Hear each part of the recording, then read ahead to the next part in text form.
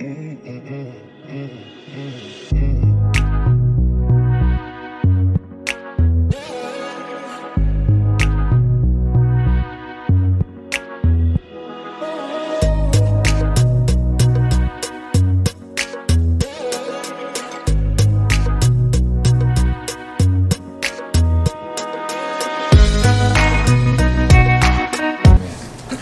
I believe this is where we left off last time. What does it mean to be born again? Or somewhere hereabouts, mm-hmm. session six. So I think I brought this up last time, but how would you answer that question? What does it mean to be born again? Somebody asked you, one of your family members shows up at your house. It's Christmas, the whole family's in, you haven't seen them in a while. That unbelieving cousin says, Well, what? I just don't get this whole born again thing. What does it mean to be born again? What would you say? How would you answer that? You shed your old self and become a new person. Okay, there's this idea of, of newness. Good. Anything else?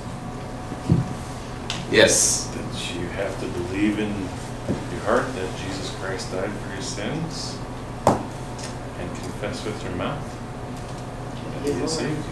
Okay, there's that, that uh, evidence that shows the, um, the new life in Christ. Good. I think having the Holy Spirit. Okay, the indwelling Holy Spirit. Yep, all evidences of, of being born again. Good. Any other thoughts? And it's also about restored relationship. What was broken in the garden being restored again and being born again. So the death is that separation, and then this, this new relationship is awakened and, and brought in. So come on in, come on in. So then let's uh, continue talking about born, being born again. And this is in this section, calling and regeneration. We talked about calling last time. That there's uh, there's two. Does anybody remember the two kinds of calls? Man, I'd be impressed. General and specific. You, I, we'll go with that. Yes, yeah. If, I think we call it effectual, but specific works too. I think it's it goes by either. Yeah, there's a general call that goes out to people, but then there's a a, a different kind of a call because there's a call that the uh, those who will believe will respond to. Um, a specific call or an effectual call. So we're doing this calling regeneration right now. The call goes out. Um, God issues it. However, it comes through the preaching of the word, the pastor, uh, whomever is sharing the gospel. And then there's this act of regeneration. And you, we can define as the act whereby God awakens or regenerates the dead spirit of a person, restoring the ability to respond to and have a relationship with Him. Now, not everybody would agree with this. There's actually an assumption in this definition of regeneration. Uh, and I'll get into that in just a minute. So we see this, John 3 1 through 8. Uh, I'm going to skip down to Jesus answered and said to him, who he's talking to Nicodemus. Truly, truly, I say to you, unless one is born again, he cannot see the kingdom of God.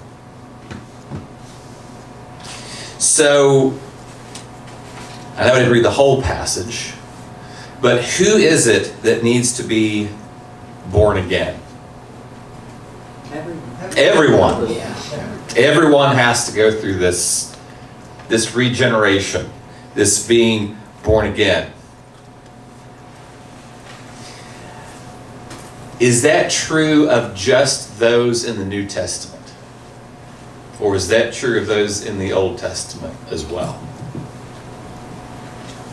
Well, what about the thief on the cross wasn't necessarily born again, was he? Well, it's a good question. Was the thief on the cross born again? Well, notice if you're born again, you can't see the kingdom of God.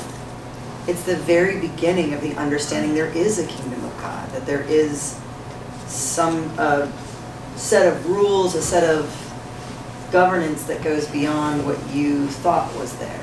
Okay. So did the thief on the cross see the kingdom of God? I think so. So then that would generate, but Old Testament, yeah, I would like, Abraham is still the father of faith. He's not the father of the Jews. He's called the father of faith. Did you ever remember the song? Father My father Abraham has made Oh, sons. yeah. Right I'm one of arm, them, left and arm, are right you. foot. Yeah, I won't do all the motions.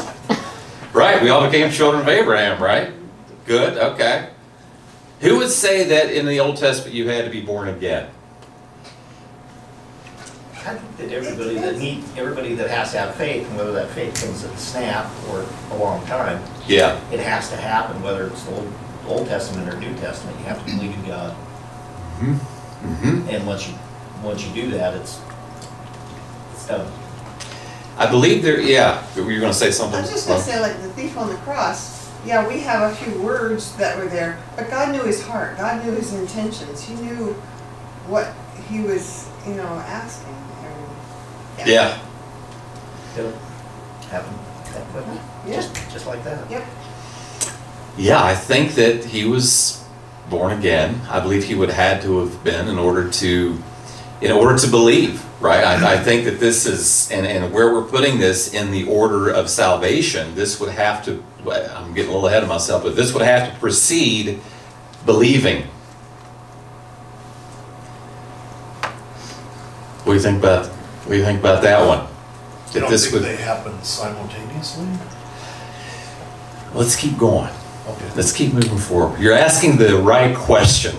It's an ex- you're asking the right question, Gary.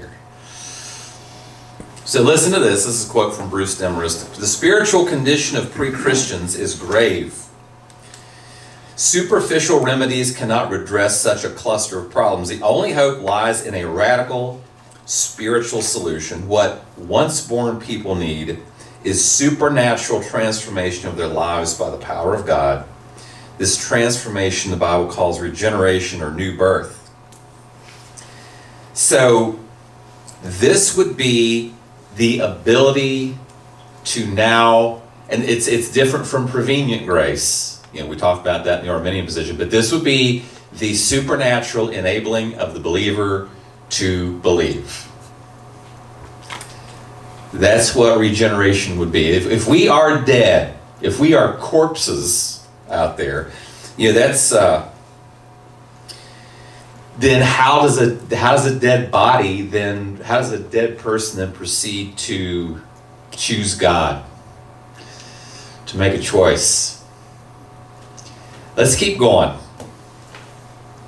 Here's the question Does regeneration precede? This really kind of gets to the heart of the issue. Does regeneration precede faith? Now, it seems like it, it really kind of seems like it would have to. Um, and otherwise, you're trying to explain well, how does someone turn to the gospel on their own? Experientially, we talked about that sure is what it seemed like to me. I mean, this is what we've been talking about all along is you know when I became a Christian, everything in my experience was telling me this was a choice I was making. But then we start hitting those New Testament passages, and it sure seems like something uh, happened before I ever made a move toward God. So hang on to that thought. Does regeneration precede faith? Um, there's this idea of monergistic regeneration. That means it's all God. That God and God alone is responsible for, uh, you could say, bearing you again, or you being born again, or you being regenerate. That's the Reformed position. Now, it's different in the Arminian view. You know, that the regeneration is a cooperative act between God and man. Because in the Arminian view, remember, you would have already received at the very get go, uh, by means of that prevenient grace, I've, I've called before that, that pixie dust grace that God just sprinkles out on everyone. Everybody's got a 50 50 shot, and, and God chooses those who He knows would choose Him. That's the Arminian position. Therefore, it stands to reason that it's a cooperative act because by my own will, I chose God. Does that, does that make sense? Okay. We'll keep moving here. So, what is the evidence that regeneration would come before faith, or that you know before we believe?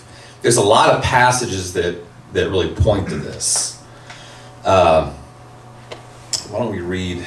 Is there one? So let me read this one since I got it in the notes. Okay, unless we've, we've touched on this before.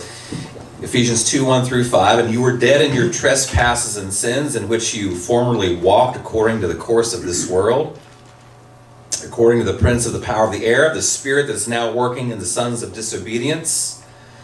Among them, we too all formerly lived in the lusts of our flesh, indulging the desires of the flesh and of the mind, and were by nature children of wrath, even as the rest. But, these are two key words, but God, being rich in mercy because of his great love with which he loved us, even when we were dead in our transgressions, made us alive.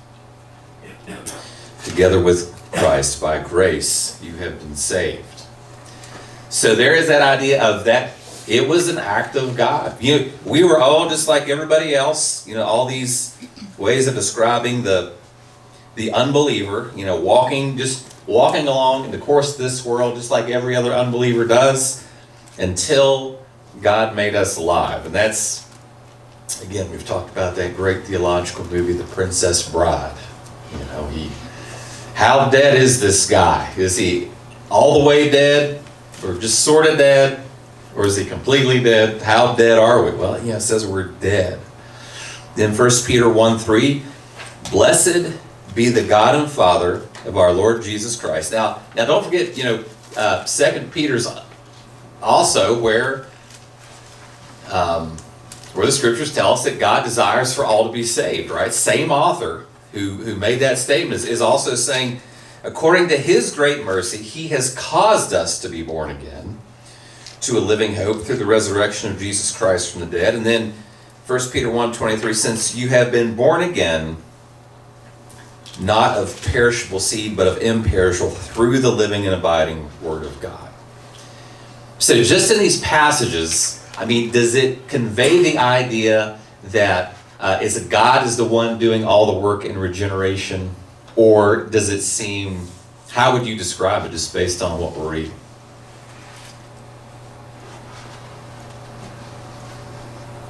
We can can discuss.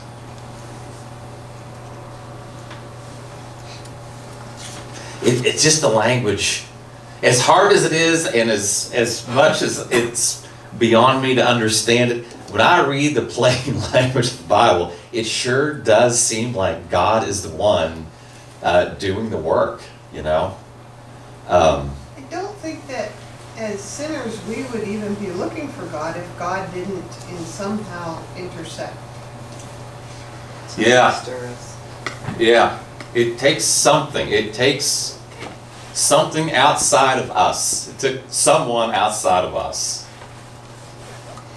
And I, yes, ma'am, I think about crunching the microphone. Um, like when some of the Sadducees and the Pharisees like just didn't get it. They weren't catching on when when Jesus was here on earth, and then others it was as plain as day that he was the Messiah. But and, and so it almost seems like some some eyes were open, some eyes were closed, or hearts hardened, or however you want to Yeah. say it. But it just seems like the same hmm. things were being said. So it it does seem like he either opens your eyes or or doesn't. Yeah, yeah, it's, it's all, you know, in John 6, and that's where, to me, it's so important to get those passages where, you know, we talk about the idea of compatibilism that, uh, that it's both God and man, in that it's, and it's 100%, 100%, 100% God's sovereign movement, and 100% our responsibility such that if anyone is unsaved, they are the ones held 100% responsible for that. And I, you know, that's where I have to again suspend my logic to say, well, how? Because we remember we talked about double predestination. Does God predestine? If He predestines some to heaven, doesn't it stand to reason that He predestines some to hell? And yet, I don't see anything in the Scripture that would indicate that that's the case. I can logic logically that's what makes sense to me. And it, I, it's I mean, to say it's hard to accept that is an understatement. But at the same time, there's uh, the explicit, to me, the explicit word of God is that he that, that's not how it works. It's the same way, you know, we talked about limited versus unlimited atonement. Logic would tell me. I mean, I could see the possibility of God uh, only dying for the elect or the saved. However, Scripture seems to say say something different. You know, I think it's again the plain reading of the text would say that God died for everyone, not just those whom will be saved. So. Does that kind of go with the, um, the sower of the seeds? Like we're all seeds, Yeah, and then some doesn't grow, some is shallow, and then some is in good earth. It- yeah, thing. And, and even in those, so even when you read the parable of the sower, right? So the gospel, the seed is the gospel going out.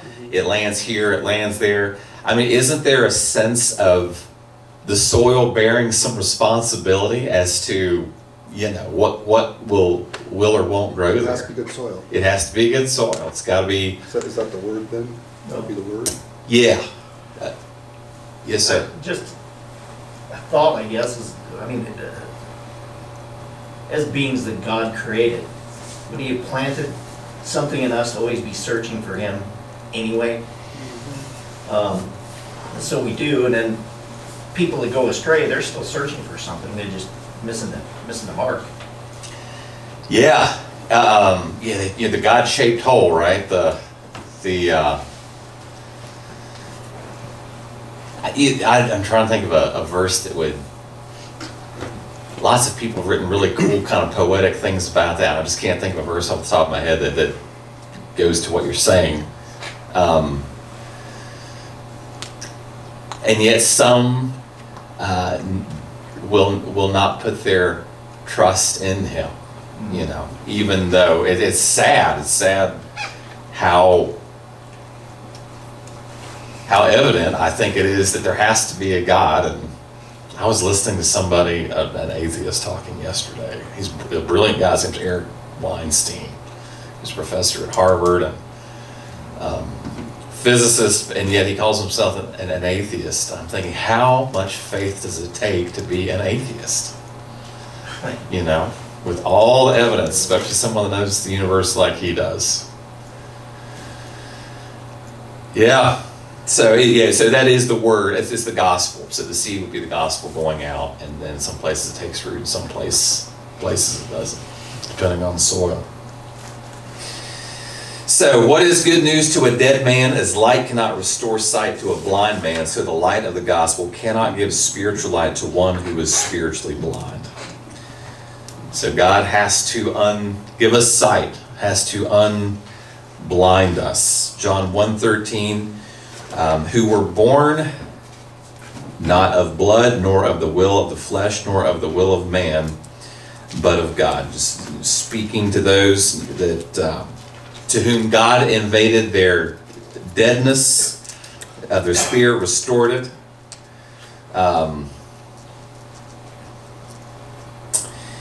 and and you know we believe we believe to the degree uh, that we are sort of capable of of believing. And, and let me ask, how much faith does it take to uh, become a Christian? Like, how much? Mustard seed. Mustard. Yeah.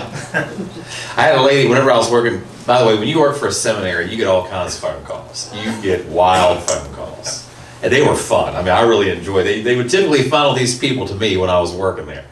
And we had a lady that called in, and I'll never forget this. She said, okay. She said, well, I'm trying to figure out if I'm a Christian. I said, okay, let's figure it out. And she said, I just started asking, uh, let me just ask you some questions. Well, tell me what you believe.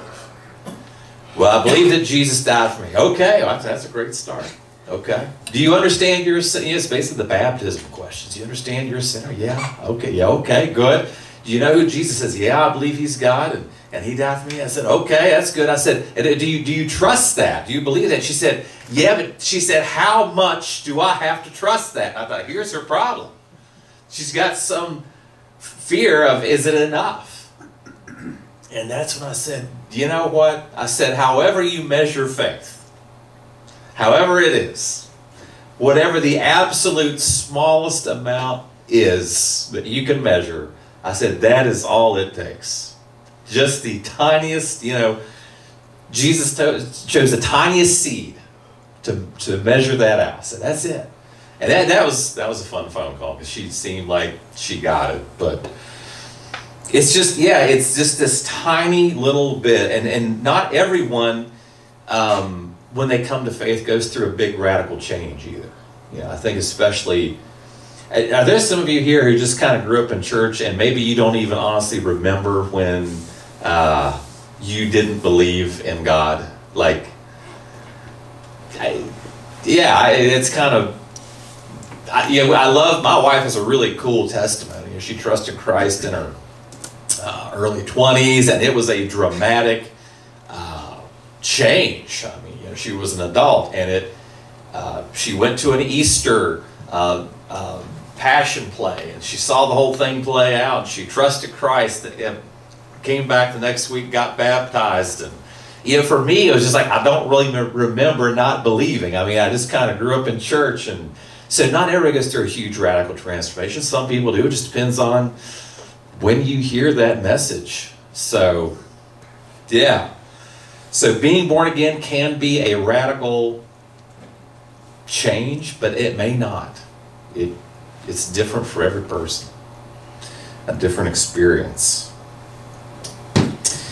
Um, the natural, but a natural man does not accept the things of the Spirit of God for they are foolishness to him, and he cannot understand them, because they are spiritually appraised. But he who is spiritual praises all things, yet he himself is appraised by no one. So, you know, again, why must regeneration precede faith?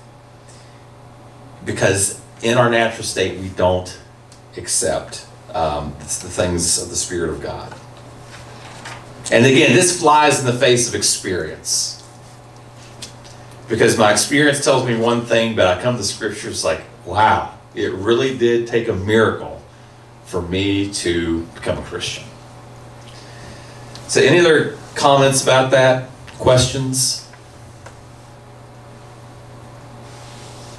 Is this like is this um, new to you all, or is this kind of like things you already had heard? Like, is this a struggle, or or no? It's a. Yeah, struggle? The tension, the tension, is a struggle for me to. Like I said, I keep going back to a God that is not this amazing is not worth following or One you can just put in a box. absolutely. And so Completely. That's how I reconcile this whole thing because it's just there's too much tension. Yeah. Yeah. Okay. I don't think I ever put born again, like I always just kind of synonymously got saved at the same time. Yeah. I Yeah. never put it as like the step before. And I think, you know, like, like you said, experience, my own personal experience, I feel like I chose the Lord.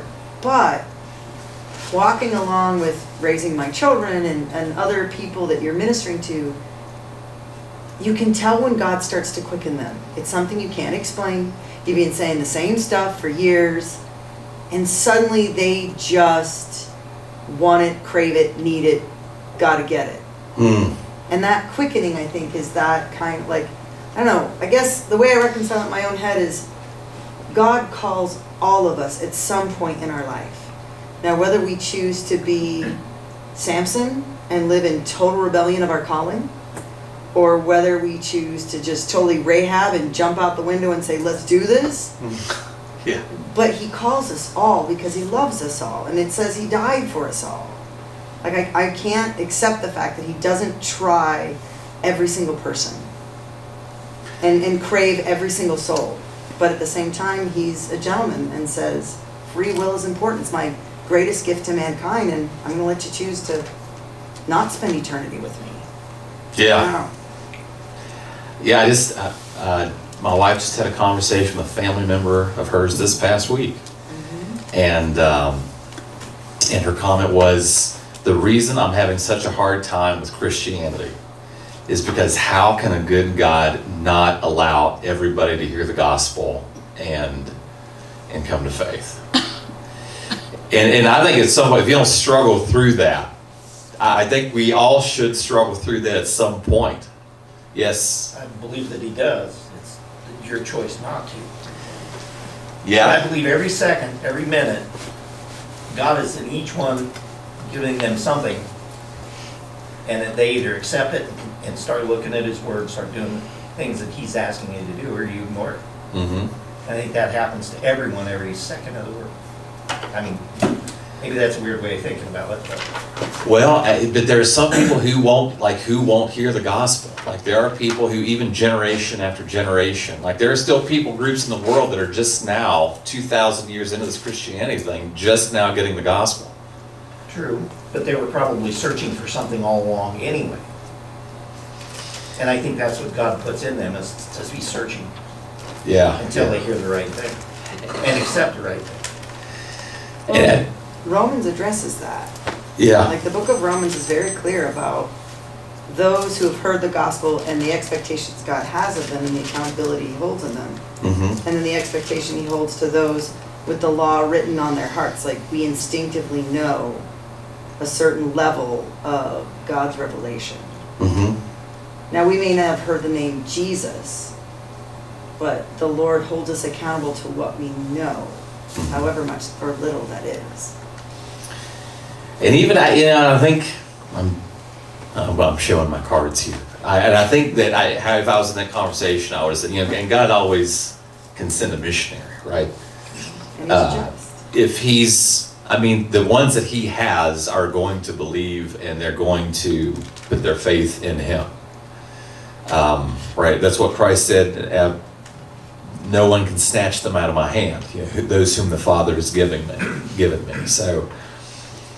And when you, when you look at Philip and the Ethiopian eunuch, to me, that's the classic example of if someone is going to put their faith in Christ, then it's not a problem for God to send someone to them. And, you know, if he can sort of zap Philip right there to be with the Ethiopian eunuch, however that went down, all of a sudden he was just carried there. Um, he can always bring someone to, to someone to hear the gospel.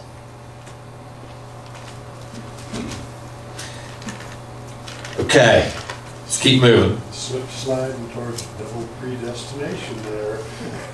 How, how so? Well, you know, when you start saying, if somebody was gonna be there, God could send the missionaries, so then since there's not gonna be somebody there, God's not gonna send the message there, so kind of edging there a little bit.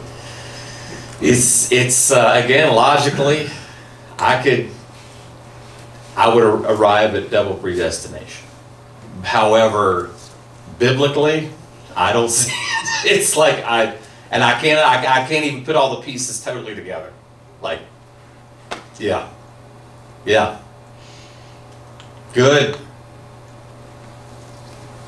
Any other questions? Okay. Uh, It took me a bit, but you were asking about those who haven't heard, Yes. But is Romans two fourteen and That's fifteen. Let me read it real quick. Sure.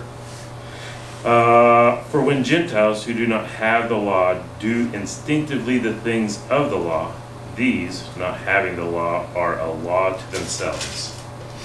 In that they show the work of the law written in their hearts, their conscience bearing witness, and their thoughts alternately accusing or else defending them.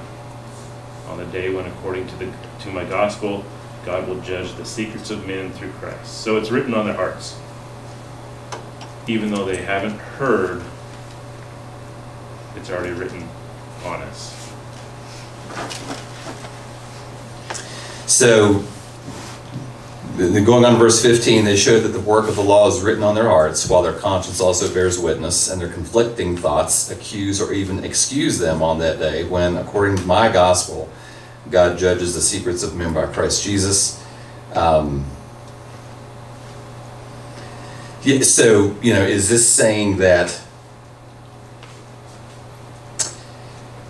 is is this a law about conscience and the conscience of every person, or is this a verse about um, by virtue of just being aware that you're doing something wrong that is sufficient for salvation.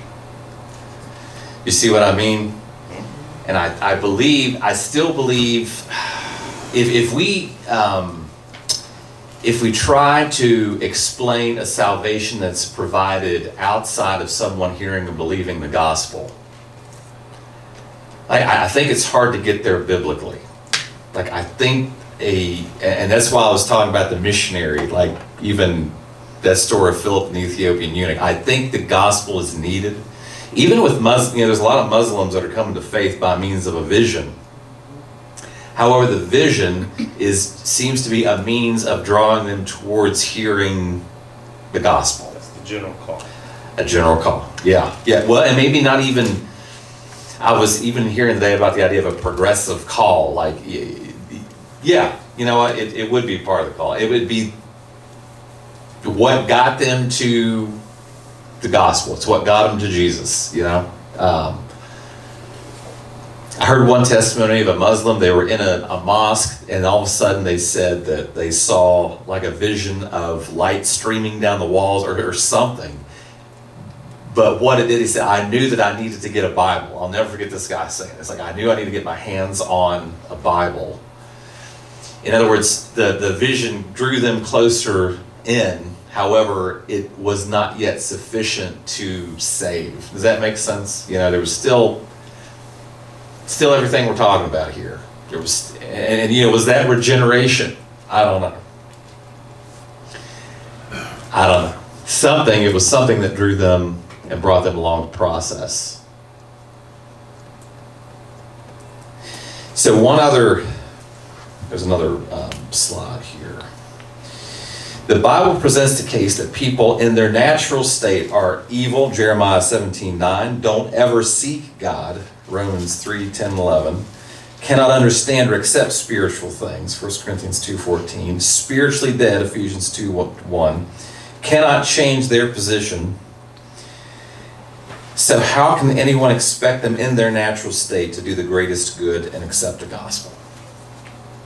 If all these things are true about the individual, what in them would make them uh, make a move towards God? Now, again, like if this, it, I think you can read the Bible starting at Genesis and get all the way up to the beginning of the New Testament and think people by their own will were choosing God, choosing to do, and that's what our experience tells us. It's not until we get to these passages that we start seeing in Paul's epistles, in the, in the Gospel of John, that it starts calling into question, oh, wait a minute. It wasn't as much me as I thought it was. Choosing God, oh, wait a minute. Uh, it was a miracle that I would even have uh, walked down that aisle. And you know, not every kid in their class that I was in threw their hand up to accept Jesus uh, at Vacation Bible School. So, any questions on this?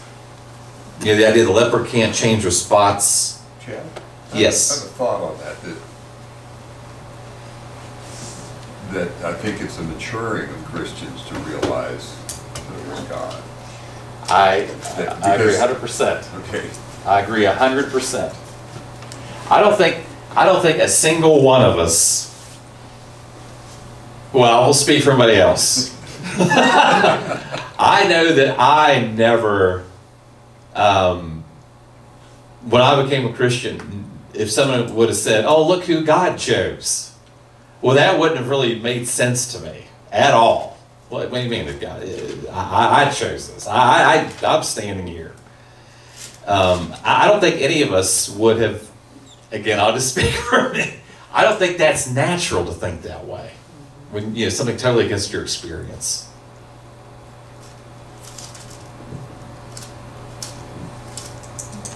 Anybody else? Yeah, I definitely think it's. I mean, yeah, I think it's just if, if the Word of God wasn't explicit in telling us this, we wouldn't. It would never occur to us that we that God also chose us.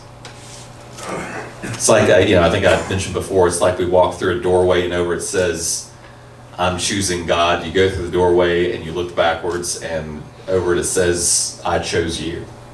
That's the kind of best sense I can make. My experience versus what God's doing. Um, okay, so we'll close with this uh, this session with this uh, verse talking about Lydia, Acts 16 14. A woman named Lydia from the city of Thyatira, a seller of purple fabrics, a worshiper of God, was listening, and then, and the Lord opened her heart to respond to the things spoken uh, by Paul. Again, you know, it says she was a worshiper, but it's um, that was a term used for Gentiles who were following um, God around, following the disciples around. Uh, and, and yet it was God who did the work to open her heart to believe. Any other questions about calling and regeneration before we move on to faith and repentance? Okay. Is anybody really disturbed out there? Is anybody. We can pause and pray. we need to pause and pray. Okay. Let's go to session seven. I think it just takes time to chew on it for a while. Oh, yeah.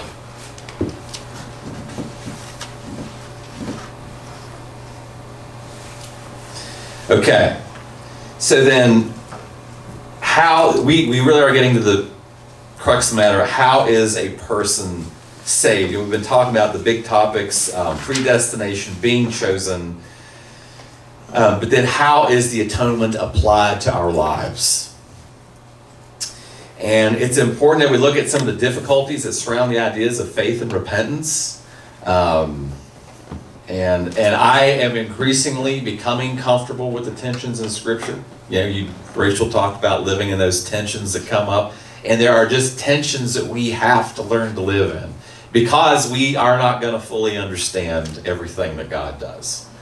Uh, sometimes I, I wish God, I wish you'd have told us more. But then I'm like, yeah, I really don't even get everything that we've got so far. I don't know that more information is.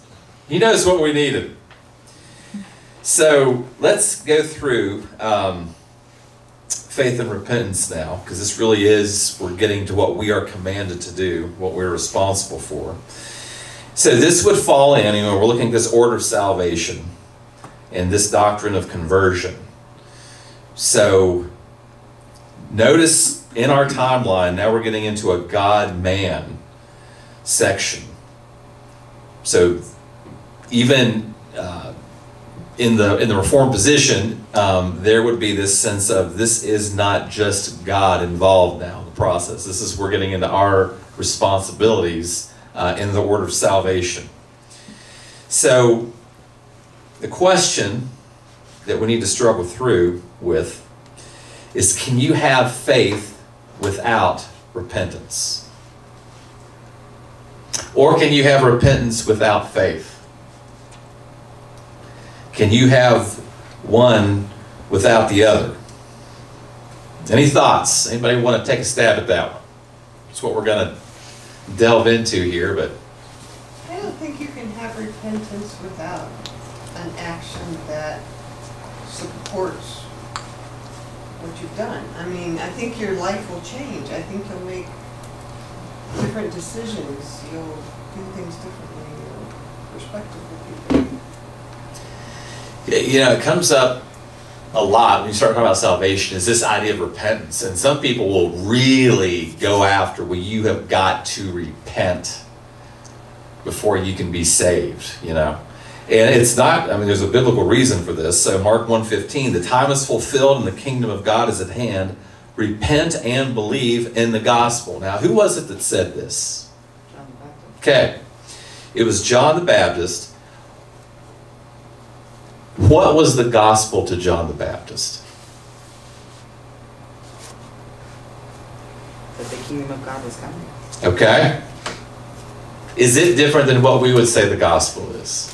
Do you think he fully got what the program was about to be?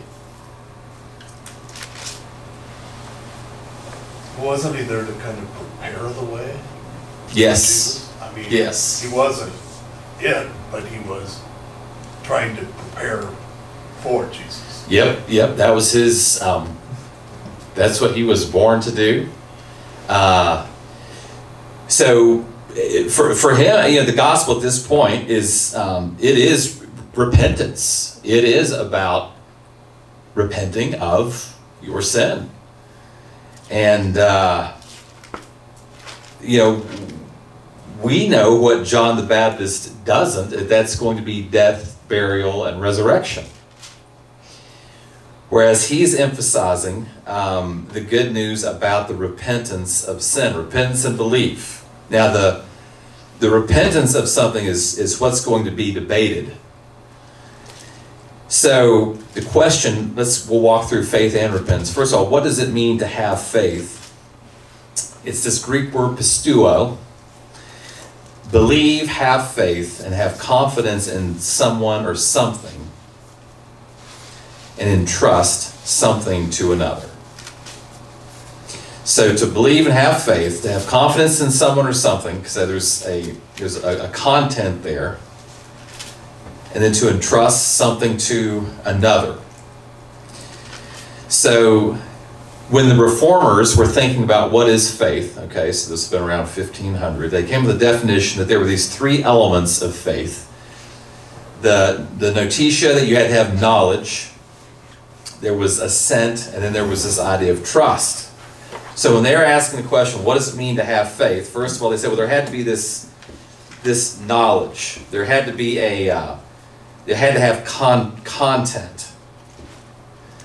Now, usually when we think of faith, we don't, we don't always, we think of it as uh, the lack of knowledge. In other words, I don't know this, therefore uh, I just believe this. I just trust this. Um, so faith kind of makes up for what knowledge is lacking.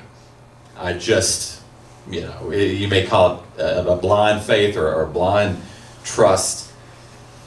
Uh, and then you know, the less knowledge, well, the greater the leap. You know, the greater the faith. But that isn't necessarily what they're um, talking about. You know, as a matter of fact, if if you if you were to take faith and just um, call it some kind of an inner feeling, well, I just feel that I trust this. You know, I just feel that I believe this. Yet when you do that, you're really just leveling the playing field for every religion out there. In other words, if if faith is just an inner subjective feeling, then you really can't pit one religion as being better than another. Does that make sense? Because a, a Muslim would say could say the same thing. A Mormon could say the same thing. Um, as a matter of fact, if you if you ever talk to a Mormon and you ask them, uh, and, and I think this is the right. St- I haven't done this, but if you were just to ask them, tell me tell me why you believe what you believe. Just tell me, you know, why is it that you are in this this faith. And there is a verse I, in their Book of Mormon that says, if you just sort of take this blind leap, then you'll receive an assurance. Uh, it's written there in their Book of Mormon that if you just believe, then then you'll be sort of enabled to trust if you take that initial step. But do you see already see the circular problem with that? That you already have to trust what the book is saying if you're going to believe what the book says about belief. So there's a problem there. And if that's all we're going to do, then again, it sort of levels the playing field of every faith out there, every religion out there, every God out there. So it, the, the reformers then had a different idea um, of, of what faith was. They said it had to have this this knowledge. In other words, they had to have this basis for our faith, this content. Um, you had to have a knowledge of something. You had to know what you were believing in. Um, I've, I don't know if you ever heard the lifeboat analogy before. I'm going to kind of use this as we walk through this. If you're in a sinking ship and there's a lifeboat, and, and you want to save your life. There's a few things you have to do in order to do that. First of all, you have to know that that is a lifeboat.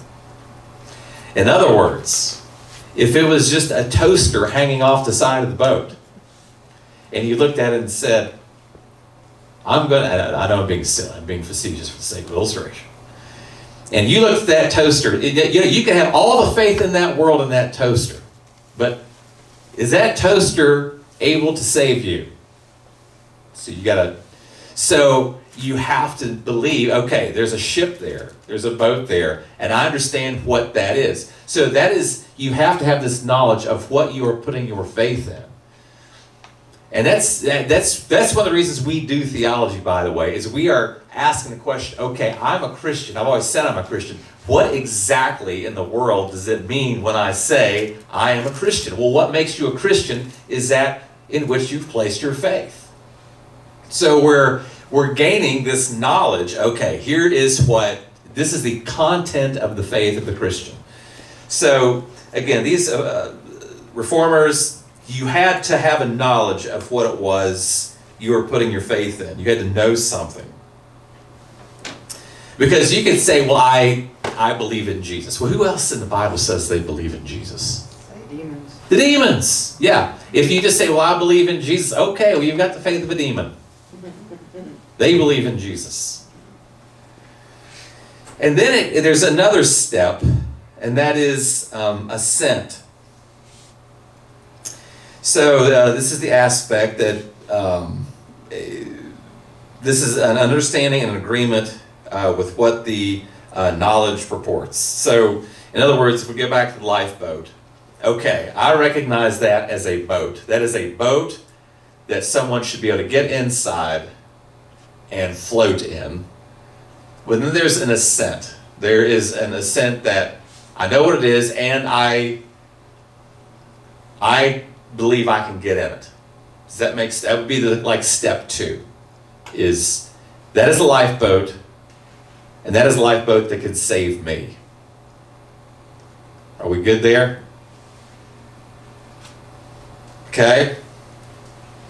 And then trust. Um, did I have something else to say about assent? Okay, yeah, well, here's another example before I go on to trust. So, um, Thomas uh, would be an example of one who needed assent before he would, or the assensus, as it's, it's saying here. Yeah, what separated Thomas from the other disciples? He was a doubter. He's like, okay, yeah, I, I hear what you're saying. However, I need more than that. Do you ever wonder if he's just the only one that said that, though? It's the only one we have a record of. Yeah, yeah. So, Je- does Jesus argue with Thomas about, does he ever condemn Thomas for having such little pathetic faith? What does he do? What does he allow Thomas to do? Be convinced. That's the sign. Yeah, he said, okay, go ahead, go ahead, Thomas. Just mm-hmm. put your hand right in my, put it in the spear hole. Um, so this is the the evidence. Um, you know, he said, unless I see in his hands the imprint of the nails and, and put my finger in the place of the nails, I, I won't believe. So it- it's important, and Christ didn't rebuke him for that. And the danger in not having this aspect of the faith is that we're trying to, it's like we're trying to neglect our own rationality. So, so what did Jesus, did, what did Jesus do to prove that he was re- resurrected from the dead? Did he just poof right out of the, the tomb and just go straight to heaven? He appeared to more than 500 people. So it would not be irrational to witness the death of Christ and then see the, the, resurrection, the resurrected Jesus uh, because he provided the evidence. See, this is why we don't have an irrational faith. Uh, faith is not irrational. We're made as rational creatures. Um, and then even uh, so Hebrews 11.1 speaks of the assent inherent in the faith. Uh, and then um, in Exodus 4, Moses, when he asked how the people are going to believe that God had sent him, uh, God didn't say, no, they just have to have faith. They just, no, they, God didn't say that. Um, he gives him a bunch of signs that would evidence God's presence with Moses. You know, there was um, what happened with the, um, in, in, in Pharaoh's court, right? The, the, the, staff turning into a snake. Then there's all the signs, the river turning to blood. I mean, there's all those signs that accompanied what Moses did. So there is this sense of God is providing the evidence of belief. Okay? Assensus. So that is this rational appeal to the evidence. And then last, trust. Um, so without this, faith is not complete. So uh, James 2.19, um, you believe that God is one, you do well, the demons also believe and, and shudder. You know, this is okay. This is um, getting in the lifeboat. I know what it is. I believe in, I've seen lifeboats before. I have reason to believe it'll hold me up and I'm going to get in the lifeboat. I'm trusting what Jesus did. And as that trust increases, what would we expect in our own life as our trust in Christ increases? You start calling other people to. Faith increases. What's that? You start calling other people to get in the boat. You start calling other people to get in the boat. I heard a really interesting. You know the the um, comedians Penn and Teller. Um, the big guy Penn, I think is is who that is. I just heard something. Uh, he rec- I don't know when he recorded this. He claims to be an atheist, but he said, "You know what?" He said, "I have no respect for Christians who are not out there proselytizing what they believe." He said, "If I saw that a truck was about to run you over." He said, I would try to tackle you to get out of the way. And what you all are sharing is way more important than getting hit by a truck. Man, that was convicting. If you think that he's saying, if you think I'm going to die and go to hell, why aren't you telling me how I can not go to hell? Is, is what he was saying. It's fascinating. We would expect our evangelism to increase. We would expect our fears to become less and less, certainly our fear of death to become less and less. Any other comments on that one? Questions? Anything not clear? That word appears to be the root of fiduciary, Yeah, yeah. which is a position of trust. I'll find out how good my fiduciary is here in about 20 years or so, won't I? My retirement plan is to retire at 70 and die about 70 and a half. That's, that's the plan. Good six months there. Okay, what does it mean to repent? Uh, the Greek word is metanoeo. I think I'm saying that right. To change one's thinking and way of life as a result of a change of attitude with regard to sin and righteousness. So it's, you know, some, the, the Hebrew word is shuv. It's that you would turn. You're going in one direction and you turn and you start going in a different direction. It's a change. Uh, Acts 2, 27 to 38. I said, Yeah. Now, when they heard this, they were pierced to the heart and said to Peter and the rest of the apostles, Brethren, what shall we do? Peter said to them, Repent, and each of you be baptized in the name of Jesus Christ for the forgiveness of your sins, and you will receive the gift of the Holy Spirit. So Peter's making a big deal out of repentance here. As a matter of fact, that was the command. What do I do? Um, this is a response to hearing the message. And uh, do you see what? What don't you see in this passage? Believe. Okay, you don't see it there, do you? Well, it's assumed because they're pierced to the heart. Because the thing is, if you believe what God says is true, it is going to bring you to repentance. Okay, I think that's really that gets to the heart of the matter. There's an assumption of faith here, isn't there? Good. Yeah, there's. Uh, it should be a natural outcome of faith. You know, when they're saying, "What shall we do?" these, those who are pierced to the heart, they are showing signs of faith. And now Peter's saying, repent. Okay, good. Acts 3.19, therefore repent and return so that your sins may be wiped away in order that times of refreshing may come from the presence of the Lord. And in the New Testament, you know, it's, it's important to understand they don't separate um, how we act and how we believe. Like in, the New Testament mindset, there was no difference. Like how you acted indicated uh, what it was that you believed. So, you know, for them to be talking about, uh, does that make you uneasy, by the way? That acting and believing, is that, because it's kind of getting to works. So they, they, they would not have separated um, belief and works probably the same way we do. You know, that was a big mark of the Reformation because a line had to be laid down because there was a, a belief in salvation by works. So the reformers worked hard to tear those two things apart from each other. Probably more so than the New Testament may have torn the two apart because, again, for them, one was indicative of the other. That's why we struggle so much with James. That's why uh, Luther was going to take uh, the book of James out of the Bible because of what he said about faith without works is dead. Whoa! We're working really hard not to let that back into the system here. Okay, but we're getting closer to a debate with this repentance and faith thing. Uh, Matthew uh, 3 1 and 2, then 5 through 8. Now, in those days, John the Baptist came preaching in the wilderness of Judea, saying, Repent, for the kingdom of heaven is at hand. Then, Jer- then Jerusalem was going out to him, and all Judea and all the district around the Jordan, and they were being baptized by him in the Jordan River as they confessed their sins. But when he saw many of the Pharisees and Sadducees coming for baptism, he said to them, You brood of vipers, who warned you to flee from the wrath to come? Therefore, bear fruit in keeping with repentance. So again, the emphasis is placed on repenting. And you really do you see anything about belief in there?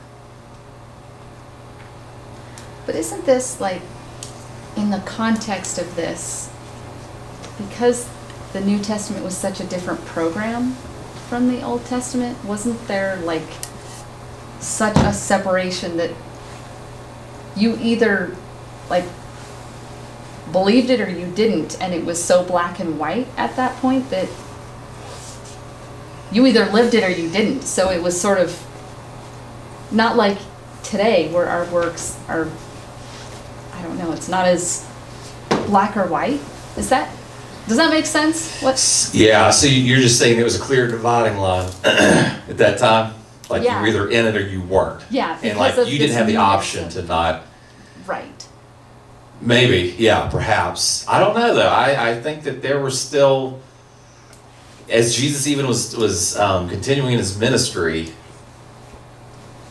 like people were kind of getting it and kind of not. Uh, I, I think it'll. I think when you get to the first century church, it gets a lot more black and white than even it is in this program. I think. I don't know. I have to think about this more, Rachel. It's a good point. Is the audience here Jews? So I would, if, if that's the case, which I think it is, then belief is automatic. I mean, Not because they're Jews, but it would be like, these are people who are trying to follow the Lord, Yeah. And they realize they've fallen short. And so they want like a, a re, a rebirth, a recommitment, a regeneration. Like getting baptized more than once in a Jewish sense wouldn't have been that foreign. Like we're like, you get baptized one and done, but in that culture, that wasn't uncommon, that every time you strayed from the Lord, you came back and showed some kind of sign of, Yeah. I came back. Yeah, they were familiar with. They had a concept of baptism because of the there was a bath outside the temple. Mhm. Um, I, but I think too here this that last sentence is pretty key. That idea, therefore, bear fruit in keeping with repentance. So what what does that sound like? Works. Okay, and in what sense? Well, to bear fruit means you have to do something. Okay. Well, he's specifically talking to the Pharisees. so. And those are the religious leaders of the Jewish faith. He's telling them, you need to bear fruit and repent yourself. Does anyone think of Show like, the way. I think of when Jesus told the parable of the guy who had owed the king a great debt, and the king forgives him, and then he turns around and strangles basically a guy who owes him like very little. I, that's what that makes me think of. Keep bearing fruit in keeping with repentance. So they're asking God to forgive them, and they're turning right back around, and they're Mm. not forgetting their fellow brothers and sisters. Mm. I, that just that's so it's not like now you got to go do a good thing because they were already doing the outside, you know, and maybe John's calling them out and going, dude, you're just doing this for appearances. You have no intention of actually changing the way you treat each other. Yeah. That's just that was my first like the moment I read that, that all I could think of was Jesus going, you know that guy that got forgiven by the big king and then turned around and strangled the other guy for a small debt. Yeah. Yeah, that's your problem. Yeah, and I, and you know, I think too the idea is that there is an ongoing, like repentance and bearing fruit go hand in hand. Like this is a product, the fruit bearing, and then repentance goes with the bearing of fruit. So it, it's as though that there's a, um, in keeping with this um, uh, this righteousness, uh, that that repentance would be the fruit of righteousness. In other words, if you are saved, then what goes along with that is continuing to repent. Does that, does that make sense? Yeah, the bearing fruit would be like the result of the repentance, not the means for repentance. Say that one more time. The bearing fruit would be the result of a repentance, not to gain the repentance or to gain their faith. Well, and I think that um, this verse is telling us that repentance produces. Yes. yeah, I'm with you. Yes, that that's a necessary fruit of righteousness. That. Yeah. I'm clear as mud right now, aren't I? I'm turning. I'm turning myself around. I'm seeing repentance in this as a byproduct, like it coming after faith. Um, and that's why I think they could always say repentance without that command of believing, because there was an understanding that before you could repent, you had to have a faith, right? You had, if you didn't have some faith, there would be no need for repentance because you've got to understand that you're a sinner. And I think, I've heard that takes a, an element of faith, right? That you're being called out, that there's something amiss in me. This person is saying that there's something amiss in me. I have to believe who that person is saying it. They have to have some kind of authority, and I have to be willing to believe that that what they're saying is right and that I need to make a change. Okay. Let's move on to the next one. Acts 26 20. First to those in Damascus, then to those in Jerusalem, and then all Judea, and to the Gentiles also, I preached that they should repent and turn to God and prove their repentance by their deeds. So what, what does this tell us about repentance? What does it what does it produce? It produces action. Okay, action. Yeah. A change a changed life. Something different than it was before.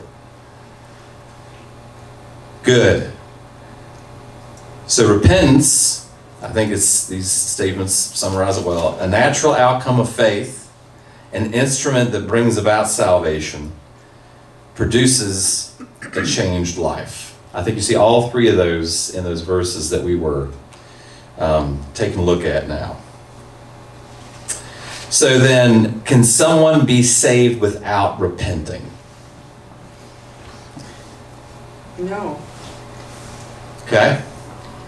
Because you can't, if you believe that what God said is true, that you suck and you missed His perfect plan, perfect will, you missed what He calls perfect righteousness, you missed it.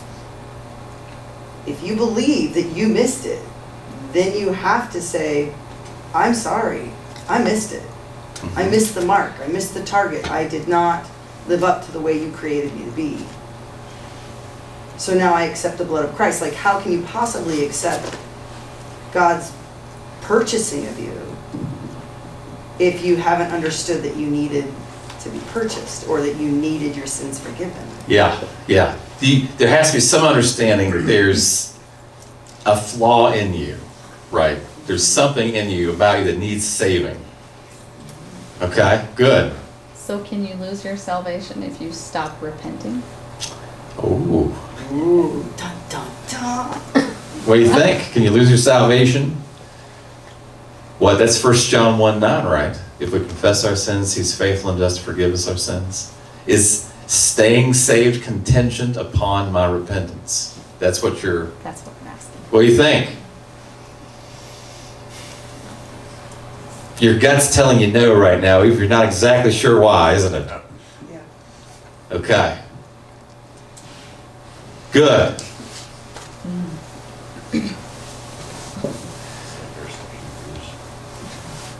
So, if no, in other words, if, if someone cannot be saved unless they repent, if the answer is no, then does this mean that people must change their lives before they're saved?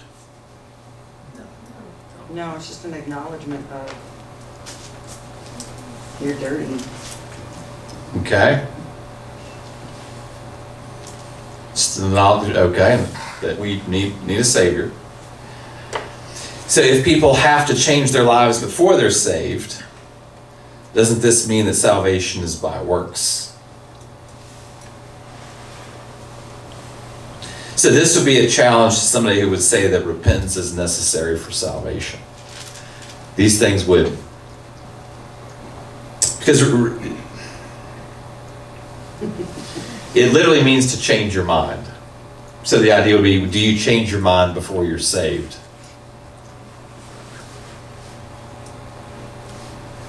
Okay. If yes, then what do you do with the scriptures that clearly teach that repentance is necessary for salvation? And how can we believe that someone can be saved without repenting of their sins? Doesn't this produce antinomianism? Somebody tell me what does, what is antinomianism? It's actually going to come up in the sermon this Sunday.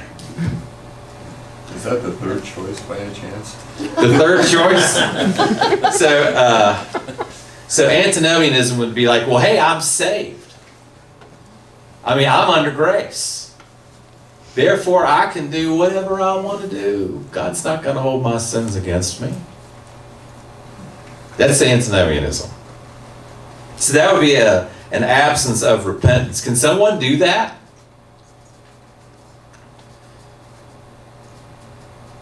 You're saying willingly sin. Willingly sin. Yeah, Hebrews, is it 10 or 11? It is ten twenty-six through twenty-nine. Is, yeah, kind of addresses that issue pretty stoutly. Since, go ahead and read those if you don't mind. Uh, for if we go on sinning willfully after receiving the knowledge of truth, there no longer remains a sacrifice for sins, but a certain terrifying expectation of judgment and the fur, uh, fury of fire which will consume the adversaries. Anyone who has set aside the law of Moses dies without mercy on the testimony of two or three witnesses. How much severe punishment do you think he will deserve? He will deserve who has trampled underfoot the Son of God and has regarded as unclean the blood of the covenant by which he was sanctified and has insulted the Spirit of grace. Simple, straightforward passage. What reference was that? What was that? Uh, Hebrews 10 26 to 29. Uh, yeah, that's not an easy one, to. Has anybody committed a willful sin since they've become a Christian? Certainly. I know I have, probably today. Yeah. Uh, actually, I kind of, kind of wish we would. I'm not ready to go into that one for sure, because I don't think it believes what we're. I don't think it, it's saying that we lose our salvation. I think it is saying that. eh, I think it's speaking to sanctification. I mean, I think it's speaking to this process that um, sin should be diminishing as an evidence that we've been saved by the blood of Christ. And I've always took this as a person who has heard the gospel, who has accepted Christ, who has confessed, and then knowing all that, not just sinning, but A habitual, uh, being anti-Christ is the way that I always took this as being uh, an opponent, Yeah. not just sinning. But It actually, that actually segues into the, um, the next conversation that, about lordship salvation, uh, interestingly. And I don't know that I want to try to jump into this. Let's wait on this one. Is anybody familiar with the lordship versus free grace debate? Are you familiar with this? Um, John MacArthur had espoused a view around 1980 called lordship salvation. Uh, that was met with a lot of resistance from uh, Dallas Theological Seminary and some professors there with the idea of free grace. So we'll talk about that next time. What those two mean, why they fought it out, why they're continuing to fight it out. Um, it's an important debate to understand, and it goes to what I think you're talking about. The idea really behind it is, well, how can I keep on sinning and call myself a Christian? Have I really made Jesus Lord of my life if I continue in these habitual willful sins?